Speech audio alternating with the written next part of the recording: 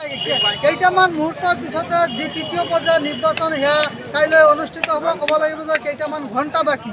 ইতিমধ্যে গোসাইগাঁও যি ৰিটাৰ্ণিং বিষয়া আছে ৰিটাৰ্ণিং বিষয়াৰ অধীনত যি আঠাইছ নং আৰু ঊনত্ৰিছ নং দুটাকৈ সমষ্টি সমষ্টিৰ এটা ভোটগ্ৰহণ প্ৰক্ৰিয়া আৰম্ভ হ'বলৈ আহ, গৈ আছে। ইতিমধ্যে যি বিষয়া চৰকাৰী বিষয়াসকলে আহি ইয়াত নিজৰ যি সা সামগ্ৰী ই ভি এমকে ধৰি ইত্যাদি কৰি যি সা সামগ্ৰীৰ প্ৰয়োজন সকলোবিলাক লৈ ইতিমধ্যে ভোটগ্ৰহণ কেন্দ্ৰলৈ ৰাওনা ৰা- ৰাওনা হৈছে। মই বৰ্তমানে উপস্থিত হৈছোঁ গোসাইগাঁও মহকুমা ধি- অধিপতি কাৰ্যালয় প্ৰাংগণত আৰু ইয়াত দেখা গৈছে যে সকলো অফিচাৰসকলে আহি নিজৰ যি সা সামগ্ৰী লৈ সকলোবিলাক সা সামগ্ৰী লৈ ইতিমধ্যে ভোটগ্ৰহণ ভোটগ্ৰহণ কেন্দ্ৰলৈ ৰাওনা হৈছে।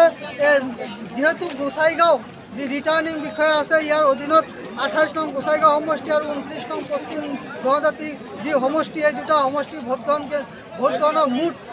পাঁচশ ছয়চল্লিছটা ভোট ভোটগ্ৰহণ কেন্দ্ৰত কাইলৈ ছয় বজাৰ লগে লগে ভোটগ্ৰহণ যি প্ৰক্ৰিয়া সেয়া আৰম্ভ হ'ব। আৰু ইতিমধ্যে সমগ্ৰ প্ৰক্ৰিয়া সম্পন্ন কৰি তুলিছে আৰু ইতিমধ্যে আমি মোৰ কেমেৰা পাৰ্চন সহযোগী দেখাব যে ইয়াত সকলো সকলোবিলাক সকলো কাৰ্যালয় সকলো বিষয়াসকলে আহি